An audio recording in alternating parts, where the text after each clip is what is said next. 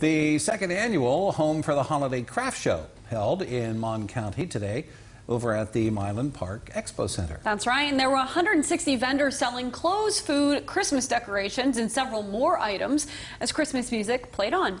Many of the hundreds of people who stopped by say they were starting their Christmas shopping early. The organizer of the event says she was scared that the event would be canceled because of the virus, as was the case with many other craft shows this year. We were really excited to be able to have this show this year. We had to follow some strict guidelines.